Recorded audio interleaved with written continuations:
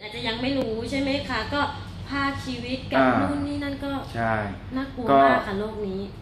คือเรามีข้อมูลก็คือข้อมูลที่เรารู้มาก็ตามสื่อต่างๆ ไม่ว่าจะเป็นหนังสือพิมพ์ ทีวี วิทยุ หรือว่าอะไรก็แล้วแต่โซเชียลสื่อออนไลน์โซเชียลอะสื่อออนไลน์ก็เลยไม่รู้ว่าข่าวไหนเนี่ยมันเป็นข่าวจริงข่าวไม่ตีจริงกันสับสนไปหมดอ่าแล้วเพราะค่ะเขาบตอกอนนี้มาถึงไทยแล้วเราก็ตกใจเอ้ยไม่มาถึงไทยจอุ๊ริยงฉัเหนรอจะเป็นหรือเปล่าไข้ขึ้นอะไรยารักษาโรคก็ยังไม่มีแล้วจะไปเอาจากที่ไหนใช่แล้วเราจะทำยังไงกันมีวิธีการดูแลตัวเองยังไง รักษาตัวเองยังไง คือเราต้องอย่างแรกก็ต้องดูแลความสะอาดด้วยอ่าอ่าความสะอาดของเราเป็นตัวเองภายใช่ไม่ว่าจะเป็นตัวเองสุขภาพร่างกาย หรือว่าอาหารการกินถูกต้องหรือว่าสภาวะแวดล้อมรอบข้าง ว่าอืมเราอยากรู้ว่าโรคเนี้ยมันเกิดจากสาเหตุอะไรทำไมมันถึงเกิดขึ้นมาได้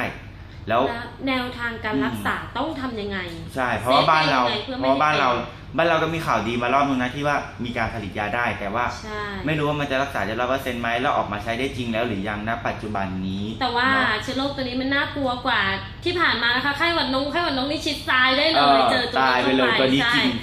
ตัวนี้กินชีวิตคนได้เยอะกว่าตายได้เลยอ่าอ่าแต่ก็ว่าถ้ามีประเด็นอะไรก็ ฝากส่งมฝากให้เรฝากส่งมาให้พวกเรานิดนึง ใช่เราก็อยากจะรู้เราอยากรู้ข้อมูลตรงนี้นะครับ ก็วันนี้เราสองคนก็อยากรู้ข้อมูลแค่นี้ครับ มีอะไรก็ใช่เอาเข้ามาแจกเอามาแชร์ เอามาต่อจากคลิปนี้แล้วกันเนาะแล้วเราจะมาเปิดอ่านใช่ แล้วก็จะมาตอบคำถามกับเพื่อนๆนะครับต้องวันนี้เราก็เดินไปก่อนเนาะครับสวัสดีครับค่ะ